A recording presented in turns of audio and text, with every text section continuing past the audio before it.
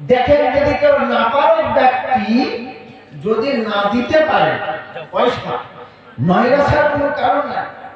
কারণ দিবেন তারাই যাদেরকে আল্লাহ পারক ব্যক্তি হিসাবে নির্বাচিত করে রেখেছে গরিবের উপরে অসহায় ব্যক্তির উপরে জোর জবস্তি করে আহলে সুন্নাতল জামাতের কোন আলেমের ফতুয়া এটা নয় যে তার কাছ থেকে মসজিদ বা মাদ্রাসা বা মিলাদের জন্য চাঁদা বা কালেকশন নিতে হবে।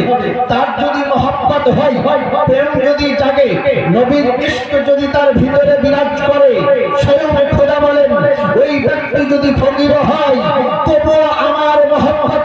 নবী মুস্তাফার প্রেমে পড়ে জান্নাতি বাগানে মিলাদে অংশগ্রহণ করার জন্য পাঁচশো না পারলে পাঁচ টাকা দিয়ে যদি শরীর হয়ে যায়, এই পাঁচ টাকার বদলাতে সাইয়েদানা আবু বকর সিদ্দিক বলেন, আমি জান্নাতে যাব না, অতক্ষণ পর্যন্ত, যতক্ষণ পর্যন্ত না এই পাঁচ টাকার দাতাকে জান্নাতে না নিয়ে